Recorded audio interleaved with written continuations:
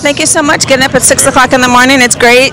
How are you? I'm great. How are you? Good. Things like that. How do you feel?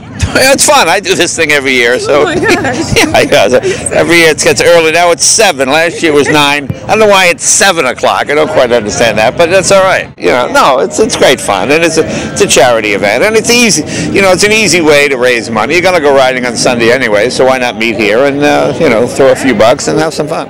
That's great. So you've been riding for a long time? Well, I'm 63, and I've been riding for 40 of those years anyway. Well, more than oh God. You've been riding that long? Yeah, I've been riding a long time. Yeah, well, since I was 16, so. Cool. So enjoy your ride, and thanks for talking with us. Thanks, Jay. Grab the person right next to you and make love with them right now. Let's do that, would you please? Man, woman, or in LA, doesn't make any difference. These two guys look like getting it off at 10:30 with the Forest Rangers, and it'll be Jack Shit and Jackson Browne. That's not Jack Shit. That's that's the name of the band, Jackson Browne.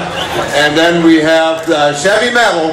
That's a spin-off from the Foo Fighters. Okay. So they're going to be performing last, and uh, And they're gonna bring food this year also, correct? they're going to have uh, some great food and uh, entertainment, some stunts, some uh, trade show uh, vendors out there. So all kinds of stuff going on. All right, very good. What time do we leave here to head out there? Well, we hope to leave here in uh, about a half hour as soon as this uh, press conference is over. Okay, well, you don't want to miss this press conference, because as you can see, it's very exciting. We're heading up to the. We're heading. We're heading out. Where we are. We we've got a little bit of time for you guys to organize. We do have a new route this year. Jay, you're coming up. Uh, to the gee, let me guess, the five? What's the new route? There's only one way to get there. It's the five. It's um. It's up to five. Up to five. Exactly. Yeah, that's really. Yeah, this is a tough gig. That's really It is. It's up to five, but we're leaving this way this time. Oh, right? we're going that way. Okay, we're going. We're backing out. All We're right. backing okay. down up to the five and All right, everything. so- And then we're gonna be up there. We got a lot of things. We got T-shirts happening up there. Again, the money's all going to the U.S.